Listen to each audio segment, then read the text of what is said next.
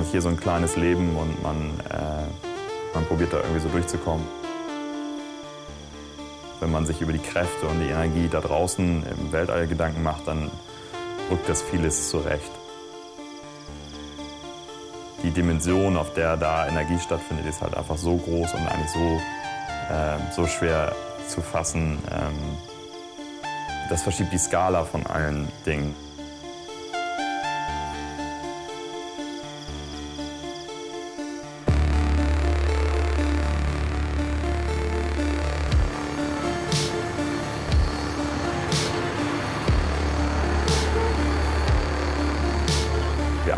Sehr daran gewöhnt, Energie einfach so zu benutzen. Und keiner mag Einschnitte hinnehmen. Und man reflektiert halt sehr wenig, weil Energie einfach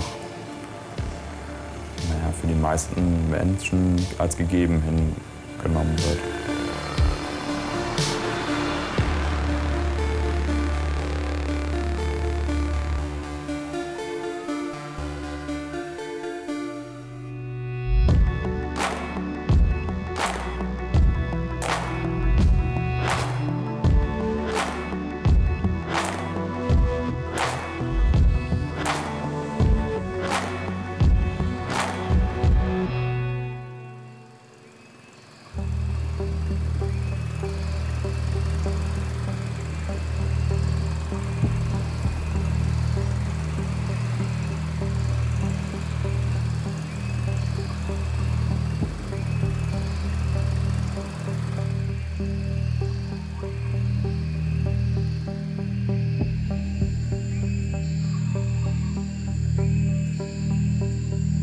Mitten im Regenwald und bis letztes Jahr gab es hier zu diesem Dorf gar keine richtige Straße. Bei Regen konnte man quasi gar nicht hin und zurück. Und das ist halt ein Dorf mit 800 Einwohnern, die halt zum großen Teil einfach immer noch vom, vom Urwald leben.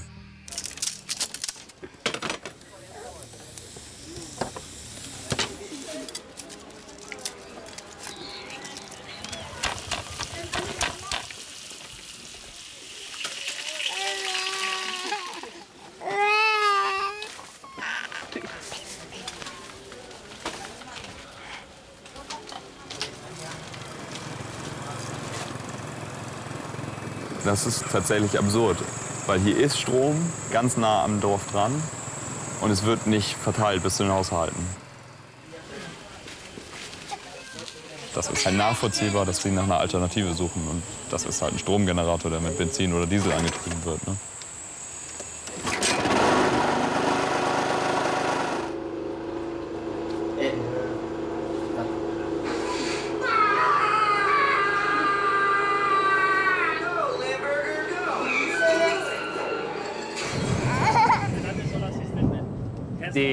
Promised energy from a long time ago, and they were actually given electricity uh, through the form of each house having its own individual solar panel system. So it was installed in the first place. It was installed as part of a nationwide exercise throughout villages similar to this throughout the country.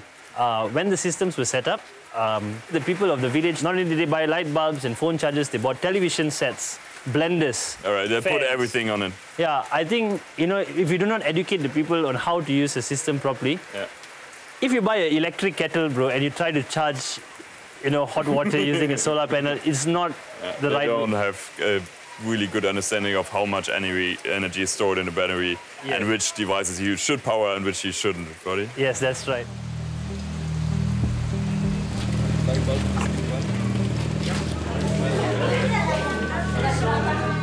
Siapa-siapa di sini ada soalan? Kalau nak tanya, jangan malu-malu. So, apa charge controller ni akan buat? Dia akan pastikan siapa boleh jawab, I bagi gula-gula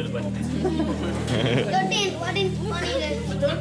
Tapi kita nak ambil cahaya matahari waktu siang, simpankan ke dalam bateri supaya boleh digunakan waktu malam. Solar panel ni how what can it power this? 10 watts. Uh, ni boleh uh, charge your telephone. Ah, satu tali cukup untuk satu telefon. Bila direct pasang maksud dia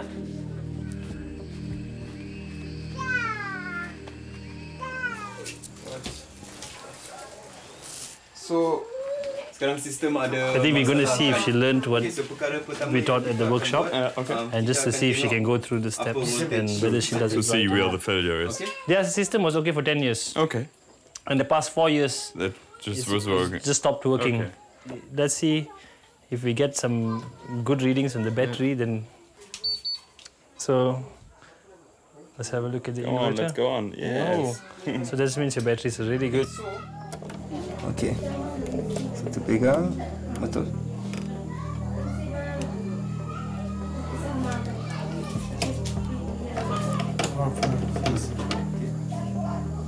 Macam. Nobody knows how to fix this here. Is it because it's too complicated or too expensive to get the parts or what's what what's missing?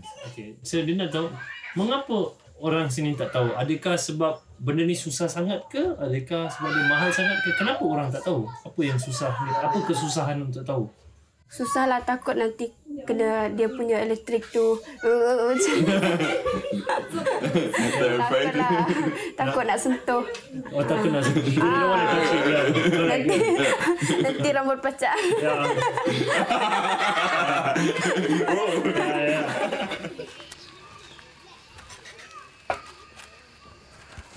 Okay, Sibu.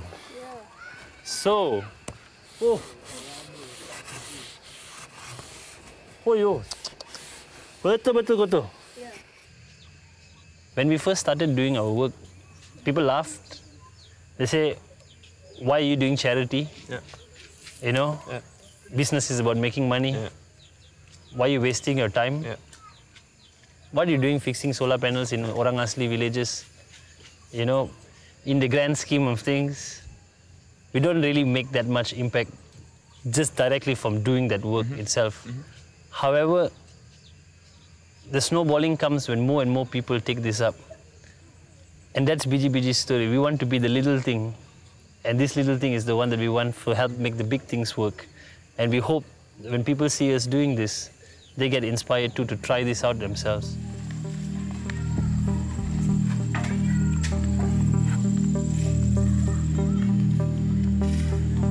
Es ist halt unglaublich, wie wenig Energie sie verbrauchen. Also es ist halt total krass, mit wie wenig Energie sie klarkommen. Und dass keine Energie oder eine Kerze oder ein Solarpanel, was echt nicht groß ist, reicht, um ein gutes Leben zu leben nach deren Maßstäben. Und, und vielleicht sollten wir halt dahin gucken und sagen so, ja, vielleicht ist es ein tolles Beispiel und das mal auf uns anwenden.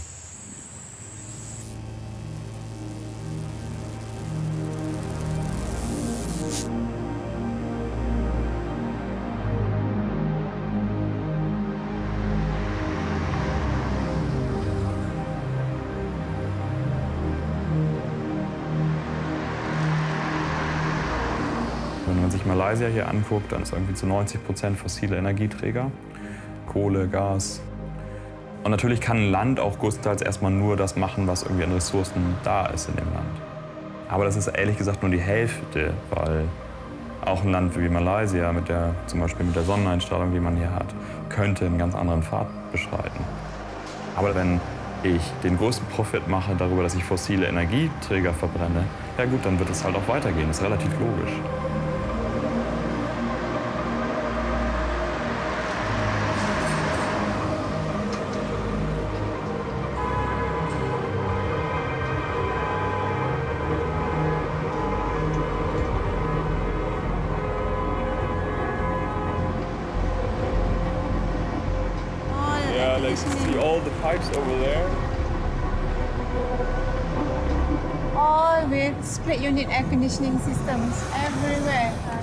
For one building like this, then this is so much. We are, we are using so much energy and freon, uh, which is why I'm into this. Yeah. Yeah, this, this is such a motivation on me when I see all this.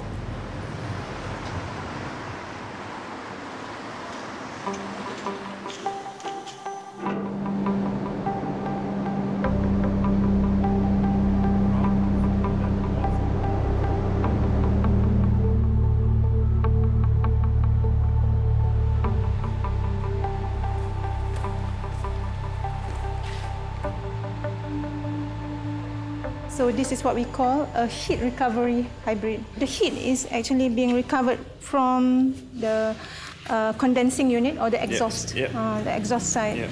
So with this, um, it helps to create a very uh, energy efficient air conditioning system. So we, we, when we compare the actual energy consumption is um, like half of the normal aircon. Yeah, Wow, that's yeah. incredible. So you buy something which is already existing and then you put in your technology. Yes, that's right. Okay, I come from the uh, software uh, engineering background.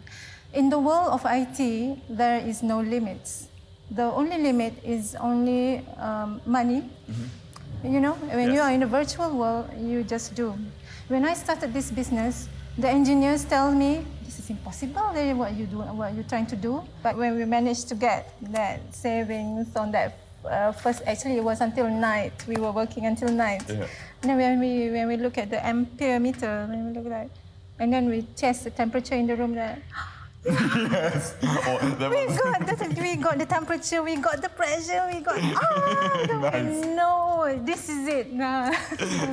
that was it. That was like um, five years ago. Eh? Oh, yeah, yeah, probably you will never forget that evening, right? Oh, never forget that evening. So, so what, what's what's the secret? What do you change? What's the secret sauce in here?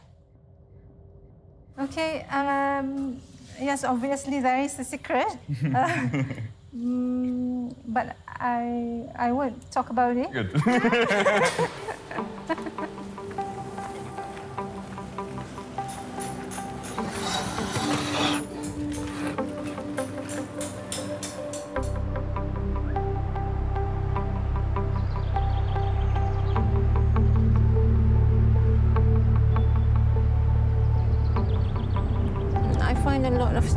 challenges in trying to um, build my business. The market, uh, the business scenario is very much geared towards, uh, you know, a patronage type business. In other words, a business of favors. You know, you do favors, you To get others, this, yeah, favors to uh, certain influential powers uh, that be, and uh, you will have uh, a much more better position for your business. And this is a difficult part because um, as uh, an entrepreneur, and I'm more on the technology side. Uh, I, I like to focus more on the um, ideas, innovation, crea- creation, creating things, and knowledge, uh, skills. But um, this, these things, you know, all these uh, people who ask for deals and all that. because I'm, I'm a startup and an entrepreneur, I don't have money. Yeah. Yeah, and uh, I want to bring a new kind of business.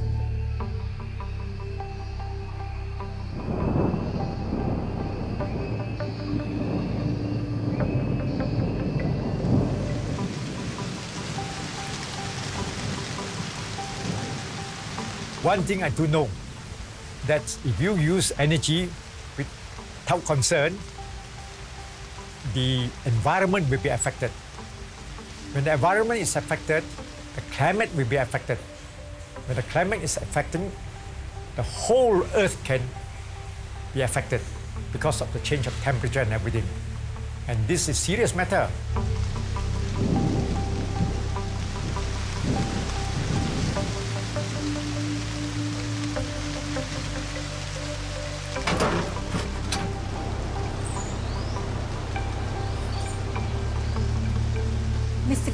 Is my customer, Yes. and he is the owner of this resort, uh, eco resort.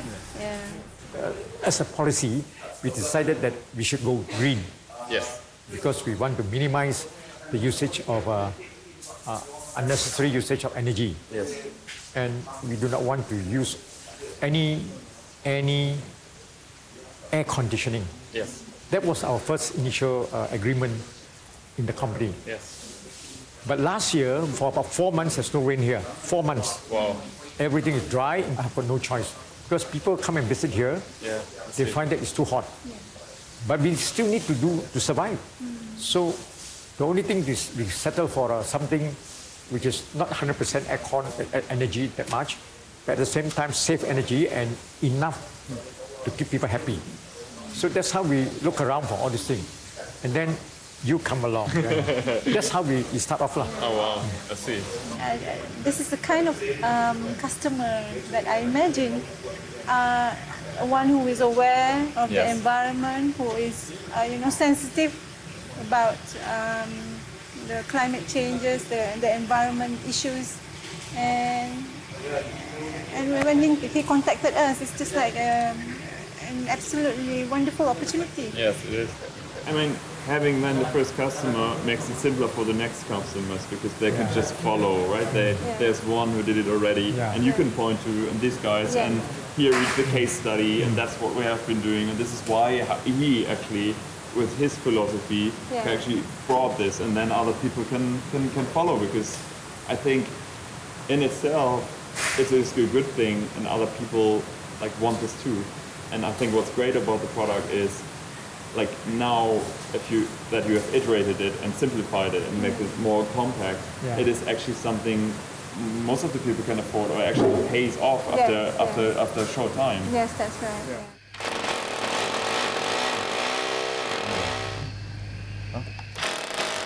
ich glaube, da anzusetzen ist halt etwas sehr Schlaues, weil ähm, ich keine Abhängigkeiten habe. Also wenn ich eine Maschine baue, die einfach irgendwie 50 Prozent weniger Energie verbraucht, dann tausche ich die, die Maschinen durch und ab dann ist es so. Da brauche ich nicht auf den Netzaufbau äh, warten oder auf irgendwelche anderen Regularien.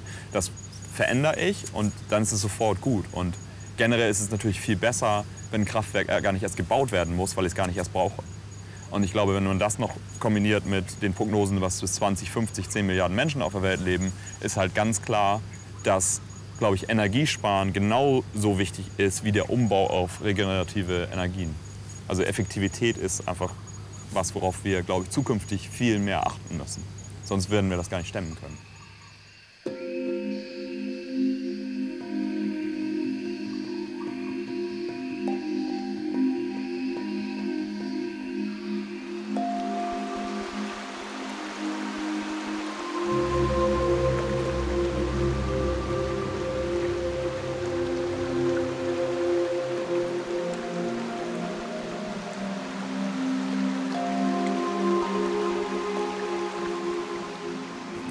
Energie ist das, was man aufwenden muss, um aus Möglichkeiten Realität werden zu lassen.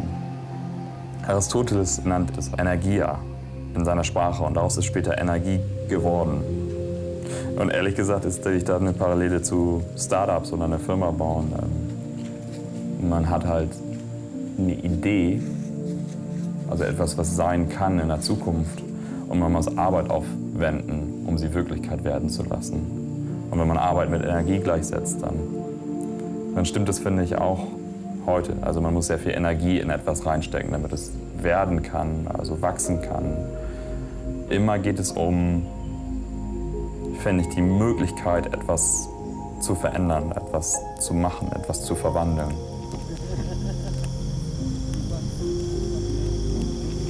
All that energy came from one single point, once upon a time.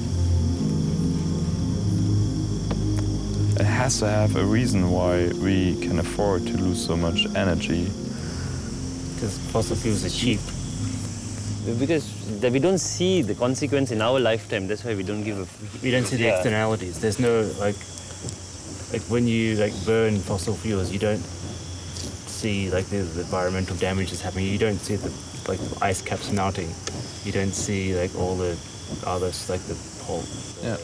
The fact is, you can't see right away. It's hard to bring these things into connection, right? It's easy to overlook that, right? Because it comes for free in a way. You know, you pay your bills in the end of the week and that's it. And like, if you can afford a hundred ringgit or two hundred ringgit, then you don't really care. Yeah. But how much matter actually went to creating that energy is very far far removed from us. We don't really see Yeah. uh, where it comes from.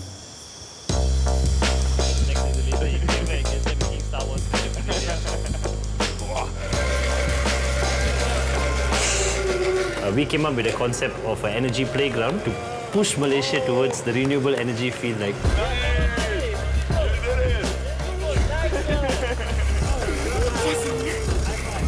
we have teams working in education.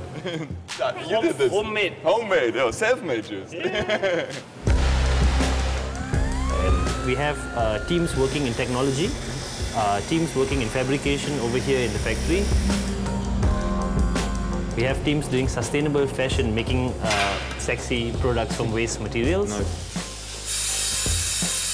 Uh, we believe 120% in this energy playground, and this, this is what we want to do. Yet sometimes, you know, we just have to get distracted with other jobs, uh, and you know, because we got to pay the bills. Yeah, Yeah, sure. you know, it's the bottom line every month also matters. Yeah. Um, if we had uh, cash flow and liquidity, we would give our whole team's energy into just realizing renewable energy in Malaysia and teaching the youth how they too can get involved and do this.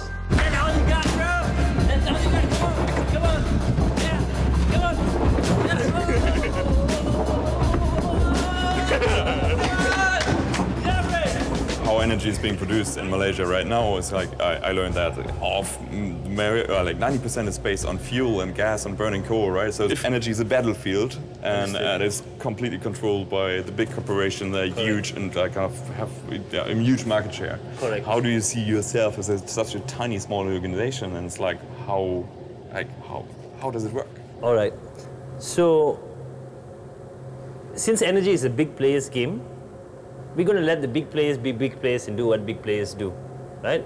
That's not our problem. Mm-hmm. We're here for the little guys. Mm-hmm. We're here for all the others like us, all the youths of today. You know, we know that we want to make a difference, and when we try to make a difference, we struggled because of these big players when we wanted to build a bicycle generator, when we wanted to access engineering facilities in the country, when we wanted to get penetrate university students to be able to get them on board, it was a huge struggle and it was not easy. So we're going to set it up right so that the other people who come after us, the youths of tomorrow, they're going to be able to use Biji-Biji space and there are going to be Biji-Biji workshops all over the country. Just pop in, go there, hang out with like-minded people, be able to speak to passionate seniors who can help you and advise you on how you can improve your design. And you know, then the big players become irrelevant. You know, the, the energy companies, they can keep doing what they do until the time comes when there is a huge enough traction that they want to adopt the technologies that they have and they have to look to us for the answers. Es ist nicht eben einfach umstellen, sondern es ist halt eine ganze Industrie umbauen, eine sehr große Industrie umbauen. Ähm, und ich glaube, dass halt sehr viele Leute im Moment davon profitieren, wie die Welt heute aufgebaut ist. Und ähm, die haben Interesse daran, dass es nicht verändert und sich nicht verschiebt. Und Leute halten fest an der Situation, wo sie sind und die werden sich, die werden sich festkrallen. Diese Art des Problems ist halt weltweit. Und ähm, kann halt auch eigentlich nur gelöst werden, wenn man weltweit daran zusammenarbeitet und sagt so, ja, okay, das Verhalten, was wir jetzt haben, ist nicht das Richtige. Wir müssen eigentlich uns überlegen, wie wir uns verändern wollen.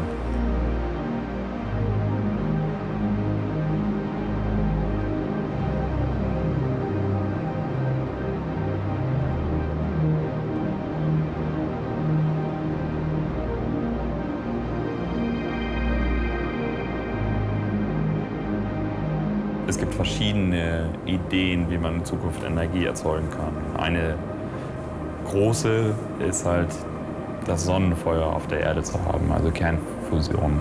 Also genau im Gegensatz zu Atomkernspaltung einfach eine sehr saubere Energie. Und das ist etwas, wo viele Menschen, glaube ich, immer wieder denken oder viele Wissenschaftler, dass man denkt so, ja, cool, es wäre super, wenn wir das hätten. Und man eigentlich immer denkt, ja, in 30 Jahren oder so müssen wir es hinkriegen. Und das ist aber schon irgendwie, das denkt man 50 Jahre lang. Das ist eben eins von diesen Themen, die sehr, sehr komplex sind.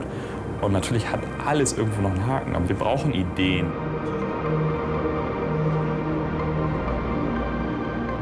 Wir brauchen Energie, um, um das Leben zu bauen, was wir leben. So. Und es gibt ja auch Alternativen, die sind gut und die funktionieren. Ne? Ähm, und das ist super. Und ähm, warum können wir da nicht so schnell hin wie möglich? So, warum,